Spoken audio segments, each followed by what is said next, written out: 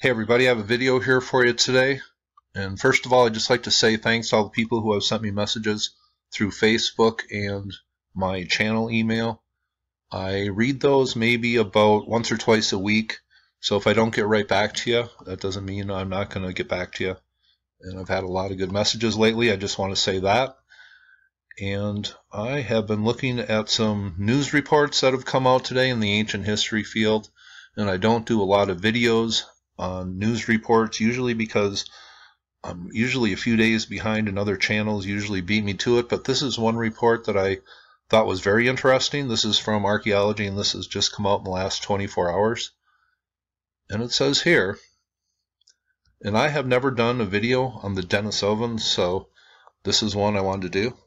It says Nature News reports that a fossil discovered in 1980 in the Baishiya Karst cave, which is located on the Tibetan Plateau, has been identified as a partial Denisovan jawbone.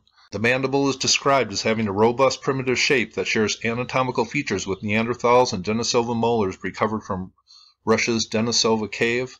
And I have been just starting to research the Denisovans, and I don't know a lot about them, so I always appreciate comments from people who have looked into this topic a little more thoroughly than I have. Researchers were not able to recover DNA from the jawbone fossil, which is estimated to be at least 160,000 years old, but molecular anthropologist Frido Welker of the Max Planck Institute for Evolutionary Anthropology and the University of Copenhagen said researchers were able to extract collagen proteins from the dentine preserved in the Jaws 2 very large molars. Analysis of these highly degraded proteins suggests that the individual was closely related to Denisovans who lived in the Altai Mountains, and because of the teeth was still erupting from the jaw, scientists think the individual was an adolescent at the time of death.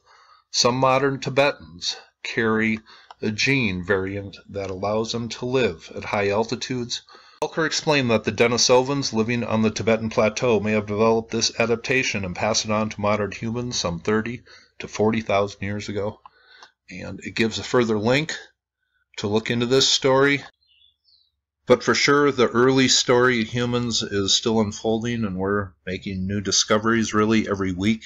So I wanted to report on this story. I will leave the link to this article below.